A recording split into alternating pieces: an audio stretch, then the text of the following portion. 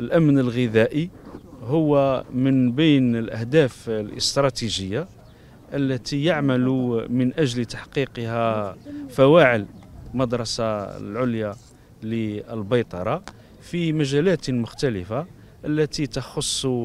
صحة الحيوان وصحة البشر أما بالنسبة للمشاريع التي ستحول إلى مؤسسات مصغرة فسيدعمون كذلك بميكانيزمات أخرى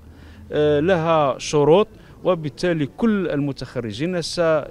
سيجدون ضالتهم في الميكانيزمات الموجودة المدعمة لهم ماديا